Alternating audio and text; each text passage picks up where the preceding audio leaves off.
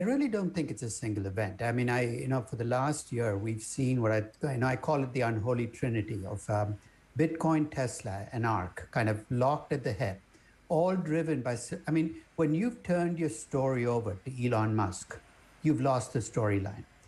And Bitcoin celebrated when Musk bought Bitcoin for uh, for Tesla, and I think it's it's facing the other side of being a celebrity-driven you know, at, at least at the moment, a celebrity-driven investment.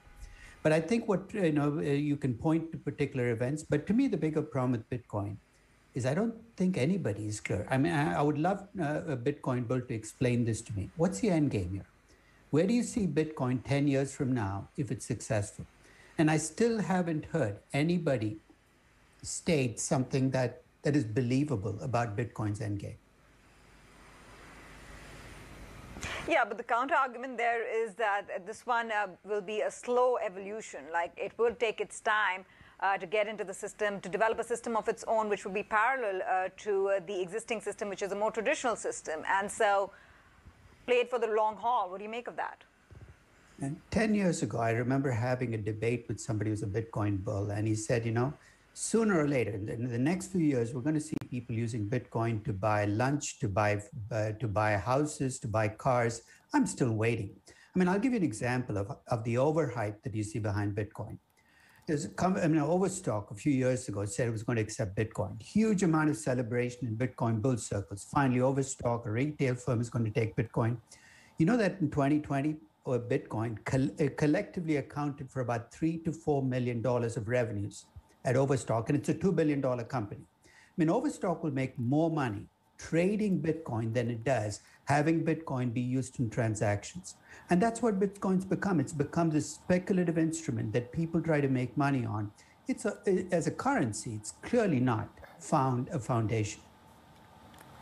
And Professor, I mean, it makes me wonder, those are your thoughts on Bitcoin, but what about the crypto space more broadly speaking? Because we did see other competitors, if we can call them that, mm-hmm. peers getting dragged down in the mm-hmm. carnage overnight.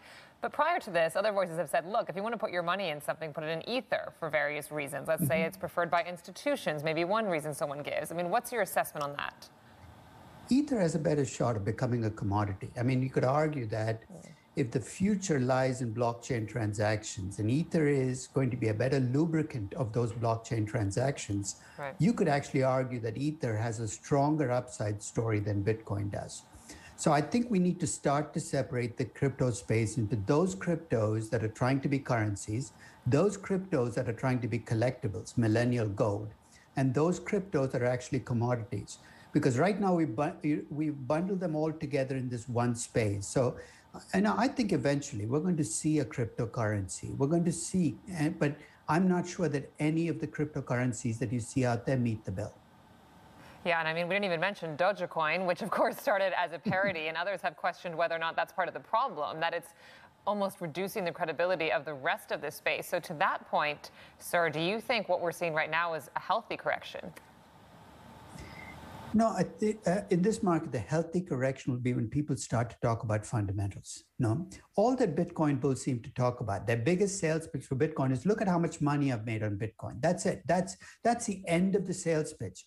That's not a sales pitch. That tells me nothing about the substance here.